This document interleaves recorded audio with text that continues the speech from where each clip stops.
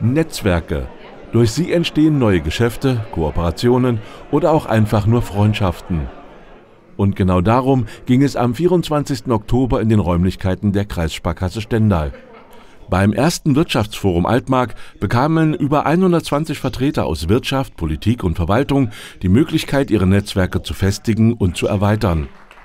Während der Veranstaltung erhielten die Teilnehmer Einblicke in Themen wie die Fachkräftesicherung im ländlichen Raum, näher gebracht in einem Impulsvortrag von Heidi Werner, die Festrede von Ulrich Ückerseifer über die Welt in der Dauerkrise mit Blick auf die aktuellen nationalen und internationalen Herausforderungen und die Altmark als Wirtschaftsstandort. Bei all diesen Themen ist ein gutes Netzwerk von großer Bedeutung. Gerade deshalb bringt die Altmark gewisse Vorteile mit sich dass man eben sehr kurze Drähte hat zu zum Nachbarn, sehr kurze Drähte hat zu dem nächsten Partner und man sich mit der Kammer, mit dem DEHOGA, äh, mit vielen relativ schnell verständigen kann. Netzwerke sind aber nicht nur für Unternehmer und deren Kommunikation mit der Politik von großer Wichtigkeit. Auch eine moderne Infrastruktur und ein gut ausgebautes ÖPNV-Netzwerk sind für den Wirtschaftsraum Altmark essentiell. Mit diesen könne man die Attraktivität des Standortes steigern und dem Fachkräftemangel entgegenwirken. Lösungen für den Nah- und Fernverkehr sind schon im Gespräch.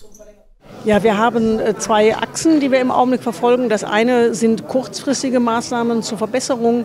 Ähm, da ist vor allen Dingen, glaube ich, für die Altmark das sogenannte y, Altmark Y spannend, äh, dass wir die Verbindung nach Magdeburg äh, deutlich verdichten, Halbstundentakt. Und dass wir aber auch eine Reihe von Fernzügen, ICs zum Beispiel nach Rostock hoch oder nach Hamburg oder halt eben runter nach, in den Raum Halle Leipzig verdichten. Wie bei so vielen Themen in der Politik besteht auch hier die Gefahr, dass die Lösung durch langwierige Bürokratie gebremst wird. Dazu hat der Vizepräsident der IHK Magdeburg eine klare Haltung. Dieser Dialog, den wir heute hier gehört haben, eint uns dann noch ein Stück weit mehr. Wir müssen es nur machen. Nur drüber reden reicht nicht. Es muss sich also etwas tun. Sehr erfreulich ist es daher, dass die ersten Schritte bereits eingeleitet wurden.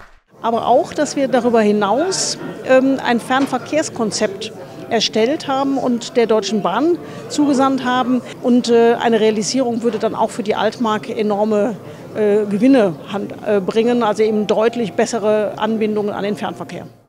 Werden wir also bald eine bessere Fernanbindung Richtung Norden und Süden bekommen? Das wird sich in der Zukunft zeigen.